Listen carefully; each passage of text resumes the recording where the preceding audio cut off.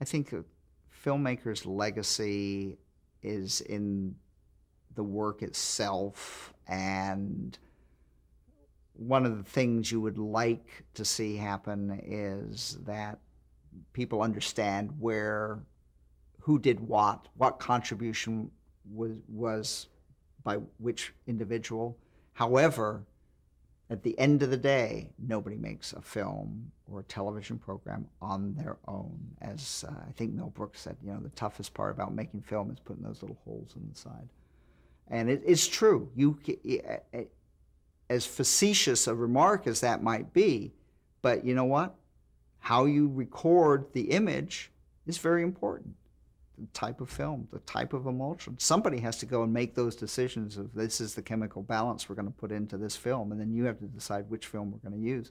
Or somebody else decides, and then somebody decides, well, what color should I paint the sets, knowing that this is the type of film we're using? How should we light those sets? How should we edit that together?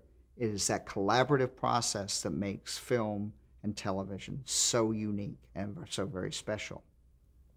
What is your favorite piece of your father's work?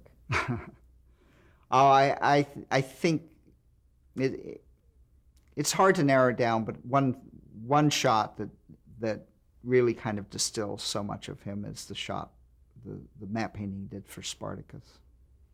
It just really resonates. It, it just works. It's one of those shots that just work, and it's a lot of painting in there, and it's very difficult to make a lot of painting work. Why do you hmm. think it works? I think because he has a sense of the drama, that there's cloud shadows in it, and nine out of 10 people doing a shot like that would never consider putting in cloud shadows. And the composition and how your eye works and gets the sense. And the key is does it move the story forward? Does it say what it's supposed to say? And it does.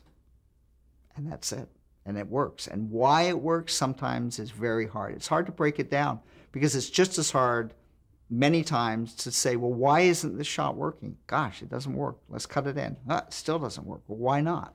There are no signs. There's no arrows pointing. Sometimes you just don't know. Sometimes it just never works.